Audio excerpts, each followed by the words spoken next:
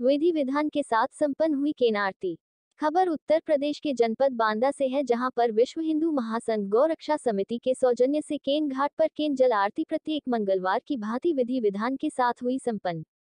केन आरती Covid 19 के शासकीय आदेशों का पालन करते हुए आयोजन किया गया।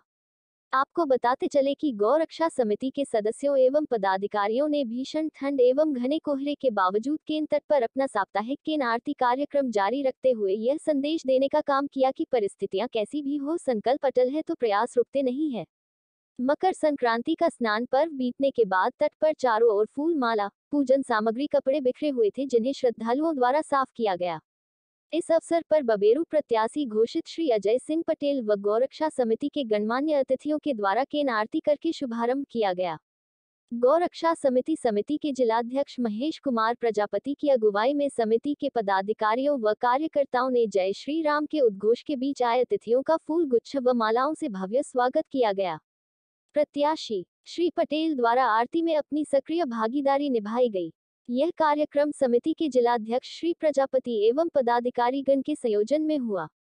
इस मौके पर आए अतिथियों ने समिति द्वारा की जा रही केन आरती कार्यक्रम की प्रशंसा की। मुख्य अतिथि के तौर पर आए अजय सिंह पटेल प्रत्याशी बबेरू ने अपने संक्षिप्त संबोधन में श्रद्धालुओं से कहा कि जीवनदायिनी नदियाँ सदैव पूजनीय रही है, इसलिए इन सभी नदियों को प्रदूषण मुक्त करने की ज़िम्मेदारी भी हम सबकी है। नदियों को पावन बनाने के लिए एकजुट होकर आगे आए। और अंत में माननीय पटेल द्वारा विदा होते समय जीत का आशीर्वाद मांगा गया। रिपोर्ट प्रभंजन कुमार गुप्ता जिला संवाददाता Banda AVP Bharat news channel. के बारे में थोड़ा आप जो भी आपका नाम? मैं अजय सिंह पटेल प्रत्याशी भारतीय जनता पार्टी 233 विधानसभा बबीरो ये आज के नदी तट पर किस तरह का कार्यक्रम आयोजन किया गया है? देखिए हम हमारी पार्टी में राष्ट्रवाद और इस सांस्कृतिक ये जो हमारी धरोहर है, इस पर हमारी पार्टी काम कर रही है। और ये हम लोग लगातार ये परंपरा शुरू हुई जब माननीय योगी जी मुख्यमंत्री बने और यहाँ एक ऐसे जिलाधिकारी और ऐसा आगमन हुआ कि उन्होंने ये परंपरा यहाँ शुरू की। तो ये हमारी सांस्कृतिक धरोहर है। इसके लिए इनकी आरती करना हमारा कर्तव्य है। इनकी संरचना, संरक्षा और इनकी सुरक्षा करना, इनको प्रदूषण से मुक्त कराना, यही हमारा काम है। क्योंकि ये जो केन जीवन धारा है, और जीवन धारा ही जब नहीं रहेगी तो फिर ये माला कौन पहनेगा? तो इस जीवन धारा को बचाने के लिए हम, हमारी पार्टी और हमारी सरकार, और हम लोग जो, आप लोग अगर योगी जी की माला में उसको बना के भेजेंगे तो इसके लिए हम लोग काम करेंगे।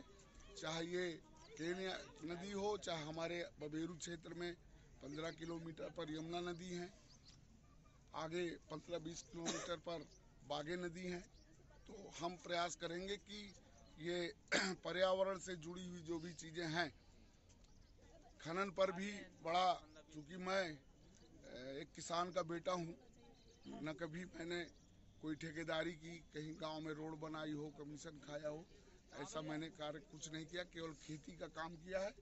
और खेती के काम से ही मैंने 25 साल पार्टी की सेवा की है। आज जो मैं आपके बीच में खड़ा हूँ 2012 में भारतीय जनता पार्टी से मैं प्रत्याशी रहा और विपरीत परिस्थितियों में बहुत अच्छा मत मिला। इसके बाद मैं, मेरे जो 2012 से और 22 के बीच का जो 10 साल का गैप है उस गैप में दस साल में जो मैंने धैर्य और आपके स्नेह के साथ जुड़ा रहा, उसी का परिणाम है कि आज प्रत्याशी के रूप में आपके बीच में हूँ। मेरे क्षेत्र के आम जनमानस कार्यकर्ताओं की, शुभचिंतकों की एक आवाज़ जो एक तरंग बन करके गई और वहाँ एक किसान के बेटे को भारतीय जनता पार्टी का प्रत्याशी बनाने के लिए केंद्र और प्रदेश नेतृत्व को इंगित किया और वही कार्यकर्ताओं की आवाज़ टिकट के रूप में मुझको दिया। और यह टिकट मेरे क्षेत्र के कार्यकर्ताओं का है, पदाधिकारियों का है। सारे पदाधिकारी हमारे प्रत्याशी हैं, सारे शुभचिंतक प्रत्याशी हैं।